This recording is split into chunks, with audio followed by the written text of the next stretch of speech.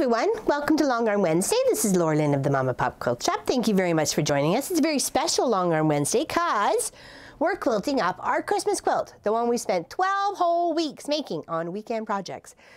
So here we go. I've got a nice panto for the top because I, I wanted to make sure, you know, incorporate, the only thing that's missing from this quilt is good old Santa Claus.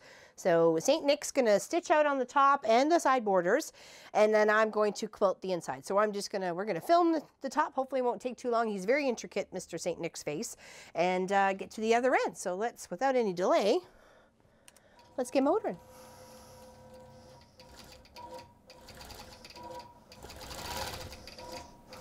And I'm using a variegated thread. It's got literally, I think, every color in the rainbow in it. Why not? Pull all this quilt together. It's got two Santa faces kind of facing each other and just a little bit askew. So we tried to make it fit within the, um, I think this was a seven inch border on the top and a five inch border on the side. So actually it would be six and a half and four and a half ish. Ish. oh, okay, it's done the hat. Okay, it's, it's very, like I said, it's very intricate. So but anyways, we've had a lot of fun working on this Christmas quilt. There's 12 blocks here designed by my sister-in-law, my husband, and myself. Not all blocks, I meant like there's a, block of at least for each, of each of us. Um, and uh, the rest of them I've gotten free from websites or um, just kits or something? Like anyways it was a free it was a free one so that we were all using and anybody could um, get to them. If you're interested in some of the ones that we've designed let me know. I'll let you know how I came up with it and and we'll go from there. So like the angel one or the hearth one or this pine cone one here or there's the one that's the bells and the holly ringing out the cheer I think it was ringing ringing the bells or something. I forgot what we named it. Ringing in the bells I think it was but all the other ones, just from free websites. Some appliques, some paper piecing, some half square triangles and big squares, and some intricate sort of stuff with the penguin and the reindeer. It's been, it's been very fun. Let me tell you, I love doing these uh, blocks and putting all this whole quilt together and then going through the whole process. And I'm lucky enough to have a long arm so we can finish it all off. And it'll just hang here in the Mom and Pop Quilt Shop for everyone to come and see. And we'll do one next year. And then this one will go like move to the back wall and the other one will be featured and we'll do something different. We were what, doing them all on our weekend project. So if you don't know about that yet, go check it out, Weekend Project. There's lots of good stuff there. We're going to be doing a uh, Christmas stocking coming up. Very excited about that. And that's also a free pattern from so, Sew Easy. S-O-S-E-W. So, Sew Easy. I think it's just done one, oh, not even quite done one Santa yet. There we go, it's just finishing off his little hairs on his chinny chin chin. his beard. All right, yeah, this is gonna take a little while.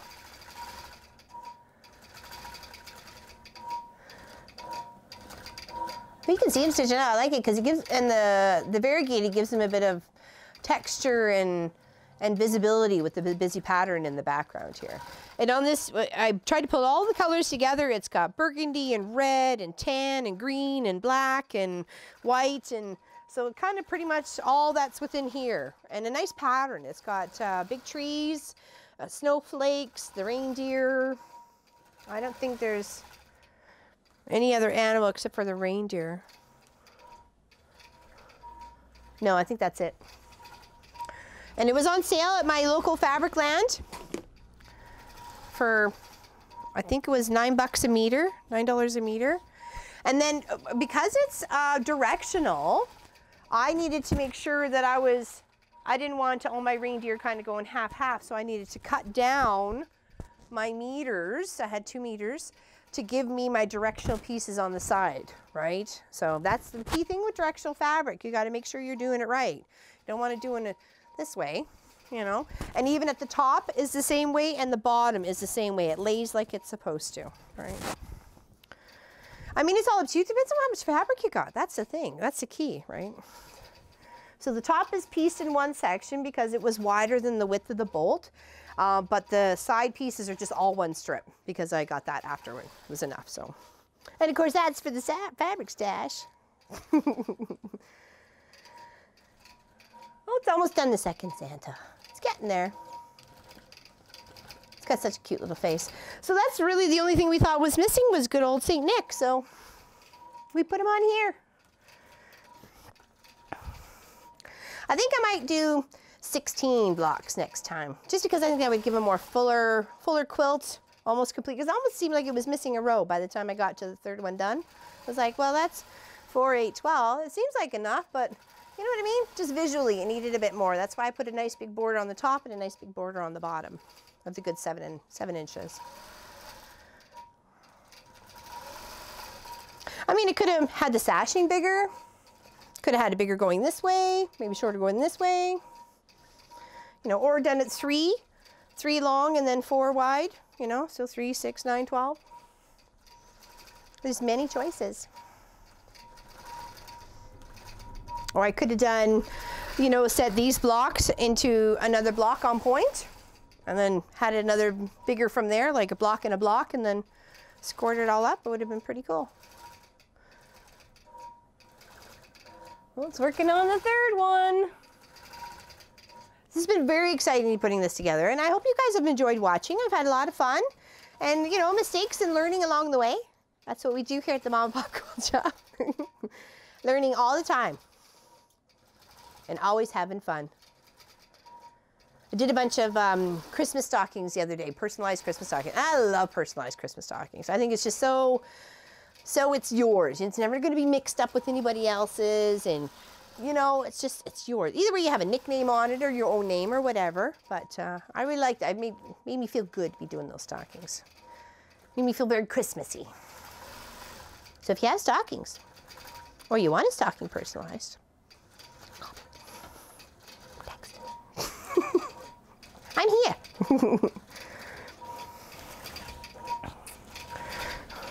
And for the back, what did I do with my back fabric? I had one of my munchkins here yesterday and she really liked it. And I was like, wait a second, you can't have that. What did I do with it? I had a nice big chunk of it left over. Anyways, it's, oh, there it is. Because I thought it might make, make a nice few, um, few good stockings because there's like, uh, there, there was enough to make two, two big ones at least, right? So anyways, it's got uh, moose and um, beavers and squirrels with little Canadian mittens and I don't know, I just really loved it. And it's green, it pulls it all together. This is also directional. So when I put the backing on, I cut it in half because I knew it was going to have more than what I needed for this because I was going to do maybe a couple table runners or something with some other Christmas fabric with the bottom stuff. So when I did it to put it on the long arm, to prep it for the long arm, I cut it in half and then flipped that other section and lined it up to make sure you know, those rain, the uh, moose were looking the same way and not one's going this way, one's going that way sort of thing. Yeah.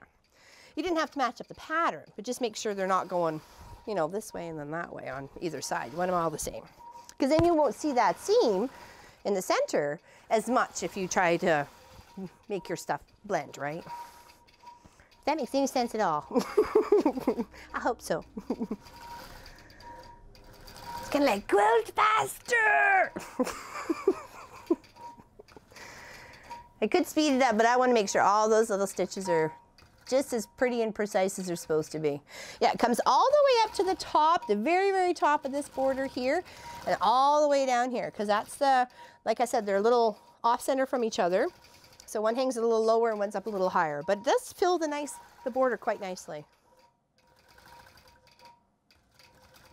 So we're looking for um, suggestions or ideas for another weekend project. If you guys got any, let me know. I'm willing to work on just about anything. Um, I have been thinking about making or recycling uh, ties into Dresden blocks, like maybe a big one or a couple small ones or something like that. I've got quite a few ties from uh, family members and my husband's mass collection and stuff we bought him for decades of dinosaurs and Simpsons and all sorts of weird things, weird Christmas ones. So I thought about just making a nice big Dresden in the center, and then maybe with the other ends of the tie, like the uh, small end of the tie, maybe doing ones up in the corner or something like that, or maybe half fans or a quarter fan or something like that. Just do nice recycle stuff. We'll figure it out. Got a couple of Christmas bags to make, so maybe that's what we'll do the weekend after that. Why not? Let me know. Feedback is good. It's all good.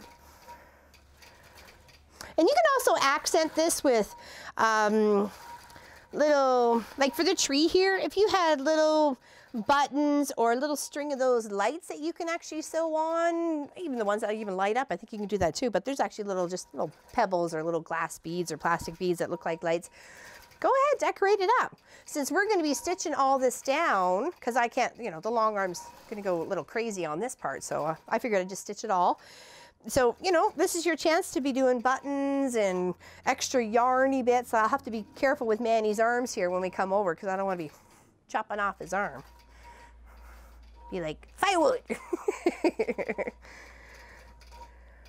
you know, on the doors, put a little handle or maybe even do some yarn or cross stitching for, you know, windows or curtains or, you know, it's all up to you. All right, that's four Santas almost done. We have like a lot to go. 14. so I don't think we're gonna film this all because it's just gonna keep stitching out like crazy. But we will show you it in the end for sure. It's too bad we didn't have time to sh show a little bit of me sewing or me stitching.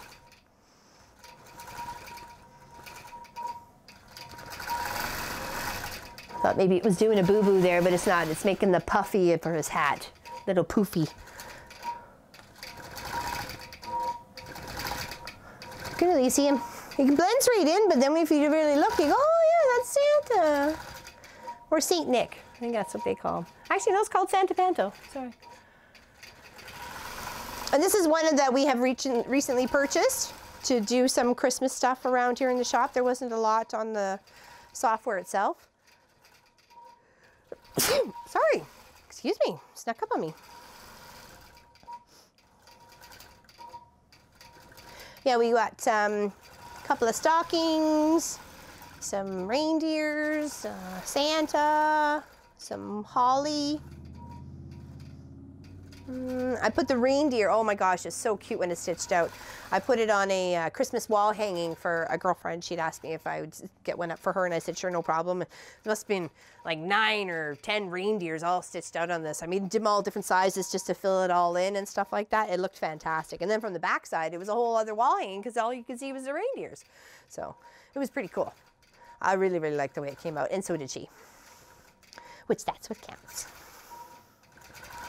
Definitely. So we are gonna have some quilts that are gonna be for sale on our website. I'm just waiting to get a couple more finished because I didn't just want to put like two up there. So they're gonna be some Christmas wall hangings and some stockings and some table runners and some quilts. I got a couple of full quilts all done. There's a, um, a boy space one I'm working on right now. It's got a big space theme in the center panel and then I'm doing all sorts of blocks and with Saturn and Pluto and all sorts of other little worlds around it. So, or little planets around it. Well, we'll let this Santa finish up and then we'll call it for today. He's almost done. He's so cute. I love the variegated. I was kind of humming and hawing at first. Hubby said, oh, try the variegated. And I'm like, yeah, yeah, let's go for that. Why not? And it's even in the bobbin. Some people say, you know, why put variegated in the bobbin? Well, I like it. Why not? It's going to really pop on the back of this, on the screen. I think it'll stitch out like something even really cool. Really cool. Like a whole cloth sort of thing. So, and thank you all very, very much for watching Long Arm Wednesdays and Weekend Projects. We really appreciate it here at the Mom and Pop Quilt Shop. And we're very much looking forward to Christmas. Not that we have any rest around here, no. I think last year I was actually quilting on Christmas Day. It was my own stuff, but I was quilting because that's what I like to do. Keeps me out of trouble.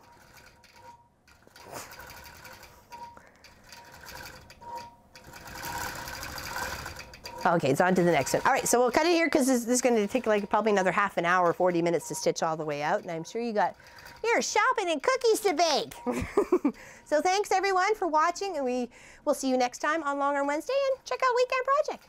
Stocking's coming up. See you. Thank you everybody. Bye-bye.